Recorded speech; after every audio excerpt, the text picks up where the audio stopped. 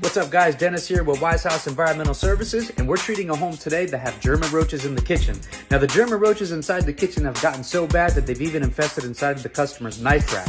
What we've done is we used a non-chemical control method in this area by using a simple HEPA filter vacuum to vacuum up the roaches out of the knife rack. We also applied some natural baits inside the cracks and crevices, always hidden and inaccessible to children and pets. We'll follow up in a couple of weeks. We'll spot treat the areas of concern, and these roaches should be gone. But check out this disgusting area with the roaches in the knife rack. It's gross.